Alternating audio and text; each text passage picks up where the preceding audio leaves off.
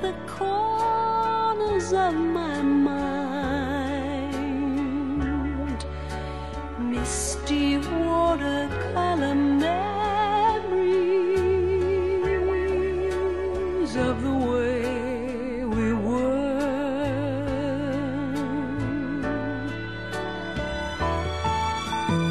Scattered pictures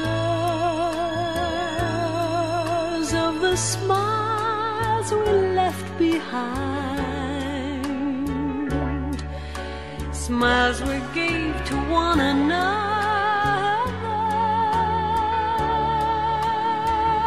for the way we were.